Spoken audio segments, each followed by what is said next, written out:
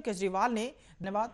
तो आपको बता दें कि जिस तरीके से लगातार कोरोना का केस बढ़ रहा है तो आपने सुना कि उनके क्या विचार थे और किस तरीके से कोरोना का प्रकोप बढ़ रहा है और लगातार बहानेबाजी सरकार कर रही है कि हाँ हम इस पर लगाम लगाने की कोशिश कर रहे हैं। लेकिन जिस तरीके से लगाम लगाने में आ, इस कोरोना काल में जिस तरीके से आ, लगातार कोरोना का प्रकोप बढ़ रहा है तो कहीं ना कहीं कई सवालिया निशान खड़े हो रहे हैं।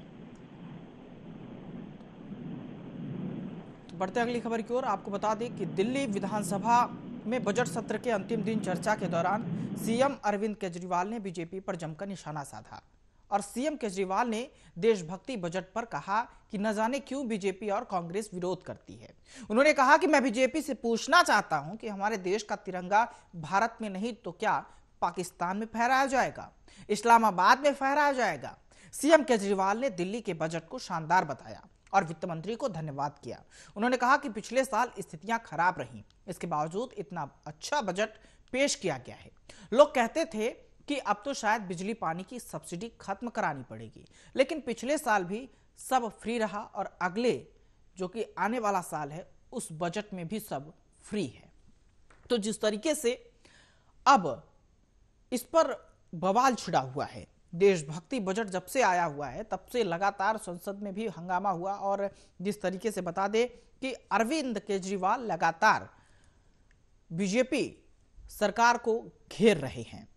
उनका कहना है कि जो झंडे हैं राष्ट्र ध्वज है, उसे दिल्ली में नहीं तो क्या पाकिस्तान के इस्लामाबाद में फहराया जाएगा?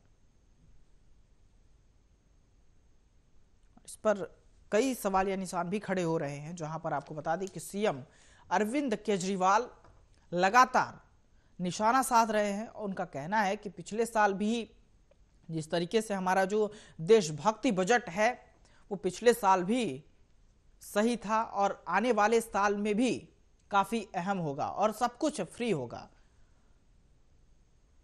तो साफ़ तौर पर आपको बता दें कि अरविंद केजरीवाल का यह कहना है कि देशभक्ति बजट से काफ़ी लोगों को इस तरीके से बता दें कि उनका आरोप है कि विरोध कर रहे हैं लोग, काफ़ी लोग विरोध कर रहे हैं इस देशभक्ति बजट का। तो इस पर सीएम अरविंद केजरीवाल ने बीजेपी पर निशाना साधते हुए कहा है कि बीजेपी बताए कि क्या भाजपा, जिस तरीके से उन्होंने सवाल किया है भाजपा से, उन्होंने साफ़ तौर पे कहा है कि जो राष्ट्र ध्वज है, उसे दिल्ली में ना फहराया जाए तो कहाँ फहराया जाए? क्या पाकिस्तान के इस्लामाबाद में फहराया जाए? और इस बजट को आपको बता दें कि अरविंद केजरीवाल ने खास बताया है, उनका कहना है कि जिस तरीके से पिछली पिछली बार की स्थिति थी, उस स्थिति से कहीं ना कहीं ये साफ़ और अच्छी स्थिति है और इस तरीके से अगले बजट में उन्होंने कहा है कि सब फ्री होगा, पिछले साल भी सब फ्री था और आने वाले साल में भी सब कुछ फ्री रहेगा। और इस पर उन्होंने अपनी प्रतिक्रिया भी ज़ाहिर की है, उन्होंने कहा है जिस तरीके से पिछले साल सब कुछ मिला था। बिजली, पानी की सब्सिडी खत्म को लेकर भी बात कहे थे। तो जिस तरीके से वो लगातार इस पर अपनी बात कर रहे हैं और अपनी बातों को रख रहे हैं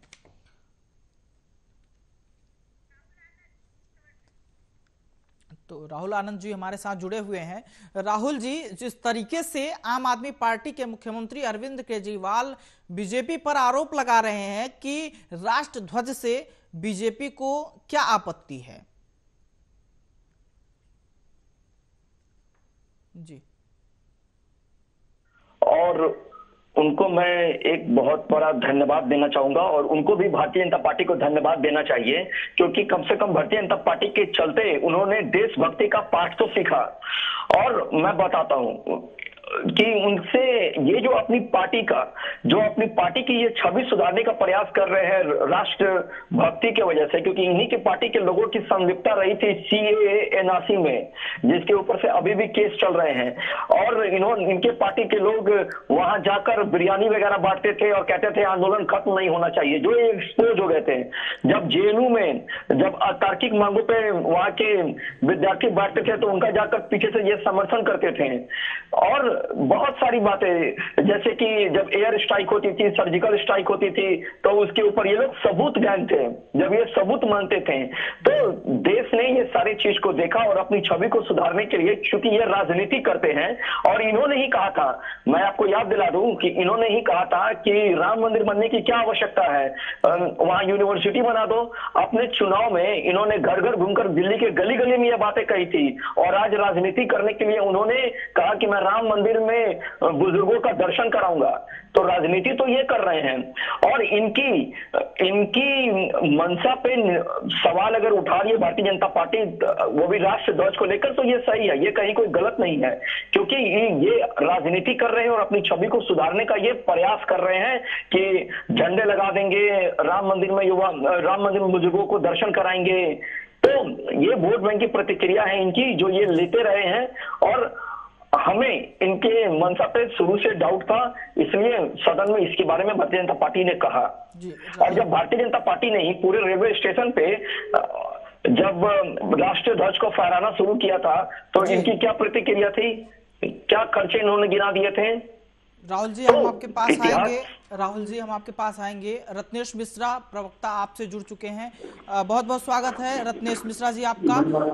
रत्नेश जी, आप रत्नेश जी, सवाल ये है कि जिस तरीके से आम आदमी पार्टी के मुख्यमंत्री अरविंद केजरीवाल ने कहा है कि जो राष्ट्र ध्वज है, इससे बीजेपी को आपत्ति है। और बीजेपी का कहना ये है कि इस पे आपत्ति नहीं, बल्कि मुख्यमंत्री इस, इसको एक राजनीतिक मोहरा बना रहे हैं।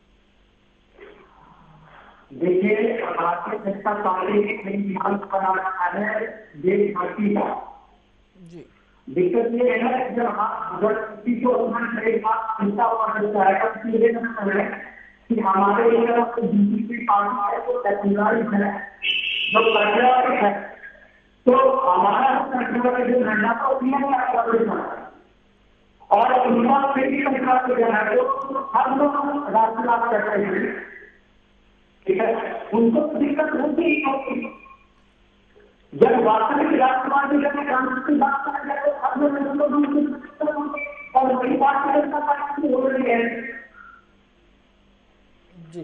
रत्नेश मिश्रा जी, जिस तरीके से आम आदमी पार्टी ने पहले जब चुनाव था, बीजेपी का कहना यह है कि जिस तरीके से जब चुनाव था, तब तो राम मंदिर याद नहीं आई और अब जब अब जब चुनाव खत्म हो गया तो राम मंदिर की याद आती है और जिस तरीके से आम आदमी पार्टी ये जो बुज़ुर्गों को राम मंदिर के दर्शन कराने के लिए प्रलोभन दे रही है? देखिए पहली बात नहीं है, हम पहले भी बुज़ुर्गों को और काम पूरे भारत के जितने वो नरेंद्र मोदी को प्राप्त करते हैं, इतने ही वो आगे राम के नहीं राम रखते हैं राम के अरे भारतीय जनता पार्टी की इन्होंने स्वच्छता अध्यक्ष के बाद निर्माण किया था तो अपने माने के मुख्यमंत्री जो अपनी बातें इनको दिक्कत है ना कि राष्ट्रवाद करना चाह रहा है ये बेकार हो रहा है खटपटवा में क्योंकि खटपटाहा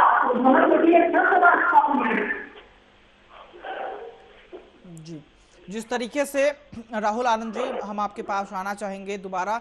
राहुल जी, जिस तरीके से सीएम अरविंद केजरीवाल ने ये बयान दिया है कि देशभक्ति बजट जो है, उनका साफ़ तौर पे कहना है कि जो देशभक्ति बजट है, इससे ज़्यादातर बीजेपी को आपत्ति है। देखिए, अगर ये बीजेपी के बारे में नहीं कहेंगे तो फिर इनकी राजनीति पूरी नहीं होगी। इनका तो काम ही रहा है कि केंद्र से झगड़ा कर कर अपने कामों को करने का। ये वही लोग हैं जो पहले किसान बिल का समर्थन किए थे और बाद में उसका फाड़ कर स्पीकर के सामने फेंक दिए थे। तो इनके कथनी और करनी में बड़ा ही अंतर है। तो इनके ऊपर बहुत ज़्यादा भरोसा नहीं किया जा सकता है। ये बस भ्रामिक प्रचार अपना करते हैं और दिल्ली जल बोर्ड में जिस प्रकार की घोटालाएँ हुई है, ये भी छुपा नहीं है। ये सारे लोग जानते हैं क्योंकि दिल्ली राजधानी है और इसके ऊपर सब लोगों की नज़रें रहती हैं। और बीजेपी के ऊपर जो आरोप प्रत्यारोप लोग लगा रहे हैं तो ये तो सारे लोग ही कर रहे हैं। लेकिन इनको शायद ये याद होना चाहिए कि जिनके घर खुद आईने के होते हैं, उन्हें दूसरे पे पत्थर नहीं मारना चाहिए। और एक बार कम से कम अपने आईने को साफ़ कर कर ये ज़रूर देख लेना चाहिए कि मैंने भूतकाल में किस किस प्रकार की गलतियाँ की और किस किस प्रकार के बयान दिए थे। तो कम से कम इनको ये याद ज़रूर करना चाहिए। इन्होंने हमारे देश के जवानों पे भी सवालिया निशान खड़े किए थे जब उरी और सर्जिकल स्ट्राइक की जब हमारे जवानों ने किया था। इन्होंने सबूत मांगा था। तो ये बस अपना प्रचार करके बीजेपी को इधर उधर की बातों में उलझाना चाहते हैं वहाँ की जनता को और उससे बस एक वोट बैंक की राजनीति तैयार कर रहे हैं, जो आगे ये करते ही हैं और कर भी रहे हैं। जी। राहुल जी। रत्नेश मिश्रा जी आपने सुना कि जिस तरीके से उन्होंने कहा साफ़ तौर पे कि बीजेपी ने साफ़ तौर पर यह कह दिया है कि अरविंद केजरीवाल अपनी राजनीति चमकाना चाहते हैं। इसलिए वो ऐसे बयान दे रहे हैं।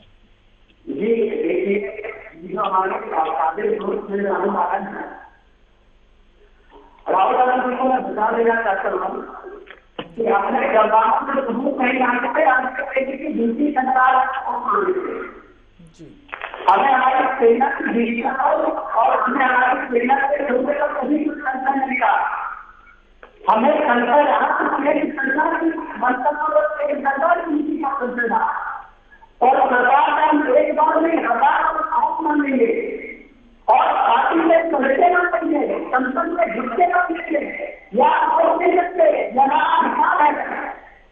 और अगर आप लोग देश कर चुके हैं ना तो आप बनने का है कि देश की नीतियों में देश के सरकार के धर्म नीतियों पर विरोध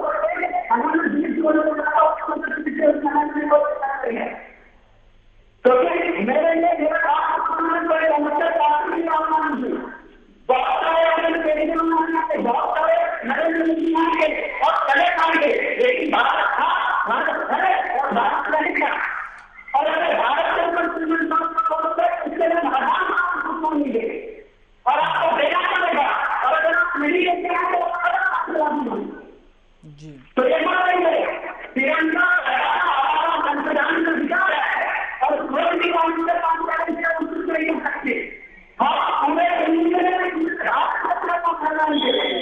चलिए आप जी वक्त की कमी है। चलिए आप दोनों का बहुत बहुत धन्यवाद। आपको बता दें कि जिस तरीके से लगातार बयान इस वक्त की बड़ी खबर सामने आ रही है इसी बीच। दिल्ली शताब्दी ट्रेन के डब्बे में भीषण आग लगी है। इस वक्त की बड़ी खबर हम आपको बता रहे हैं, डोईवाल के पास ट्रेन के सी फाइव कोच में ये आग लगी है, भीषण आग लगी है, जहाँ पर आपको बता दें कि देहरादून से शताब्दी ट्रेन जा रही थी। देहरादून, ये ट्रेन जा रही थी, शताब्दी ट्रेन थी, जिसमें आपको बता दें कि शताब्दी ट्रेन के डब, जो डिब्बे हैं, उसमें आग लगी है। ये भीषण आग लगी है, आपको बता दें कि डोईवाल के पास ट्रेन के सी फाइव कोच में यह आग लगी है, जहाँ पर बता दें, मिली जानकारी के अनुसार ये बस देहरादून, जिस तरीके से ट्रेन देहरादून जा रही थी। तो इस वक्त की खबरों में फ़िलहाल इतना ही। देश दुनिया की तमाम खबरों के लिए देखते रहिए आर्या न्यूज़।